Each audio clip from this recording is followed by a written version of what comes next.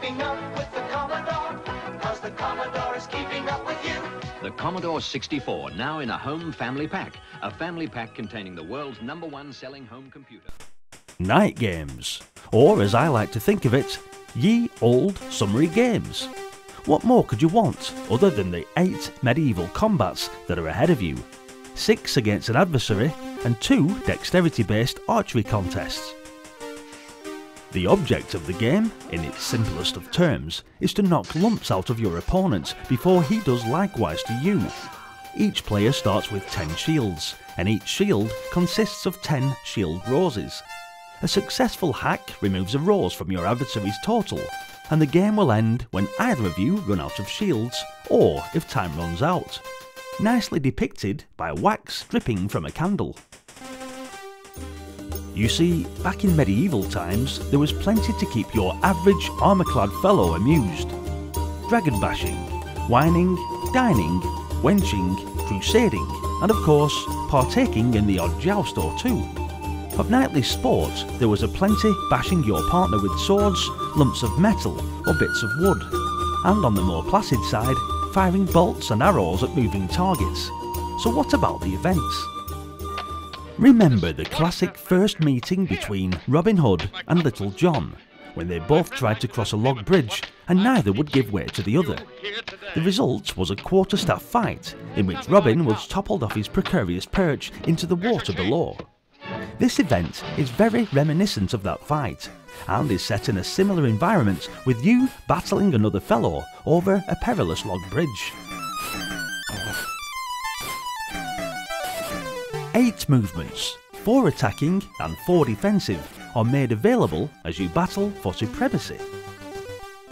This is the first event to test your aiming skills rather than the strength of your bashing arm. Set in the fields outside the castle, the object is to hit as many moving targets as you can before you run out of either arrows or time.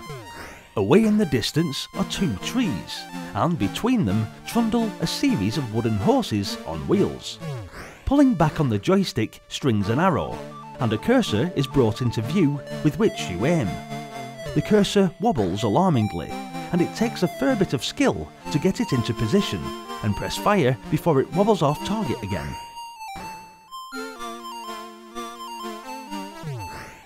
The first sword fight event takes place on the castle battlements, with a splendid English countryside scene in the distance. The players appear on opposite sides of the screen, and then clank their way toward each other so that the fight can commence. Eight fighting movements are made available to each knight, and these are accessed by pushing the joystick in any one of the eight directions.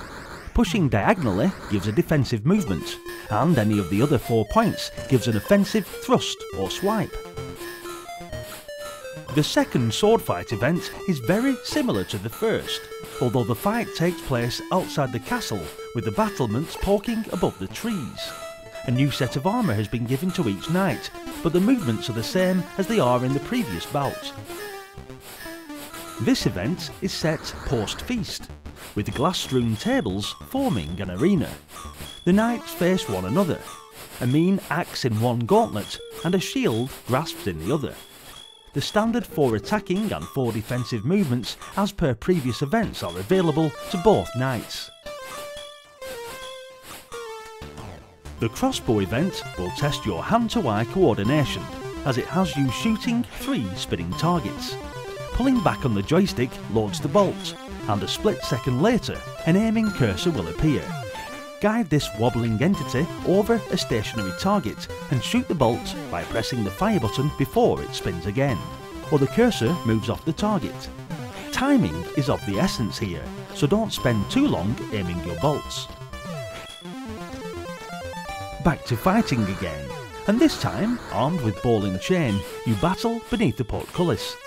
Once again, there are eight separate movements, including some vicious swipes and overhead thumps which are often made to your armour-clad persona. Plenty of variety in movement and plenty of scope for attack.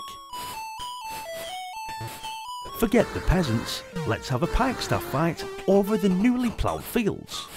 Out in the country trots you and your piking partner. four defensive and four attacking movements are made available to each knight once more as you thump, stab and spike each other. This is a fun game, a nice variant on the beat 'em up theme, with six bashing games and two other games thrown in for good measure. Although the events have 8 moves as standard, each has its own set of thrusts, parries etc. And once mastered, they all have great potential for a really good fight. The defending and attacking moves all work well, and it's easy to become very involved with the game when you're fighting. Graphically, this is great too, with the sprites being brilliantly animated along with some decent medieval backdrops. Adding to that are the 8 tunes, which are also pretty good, with nice atmospheric sound effects of clanks and clinks as you bash your opponent's armour. I enjoyed playing this, and strongly recommend you have a look at it too, so grab your C64 and get this game loaded up today. Thanks for watching guys, what did you think of Knight Games? Hit the like button and let me know in the comments.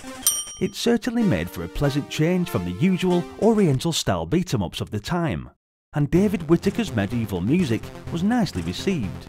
I love this game, and I'm sure you do too. If you're enjoying the nostalgia, then jump on board and subscribe to the channel, and don't forget, you can also join me on the YouTube membership program, or over on Patreon.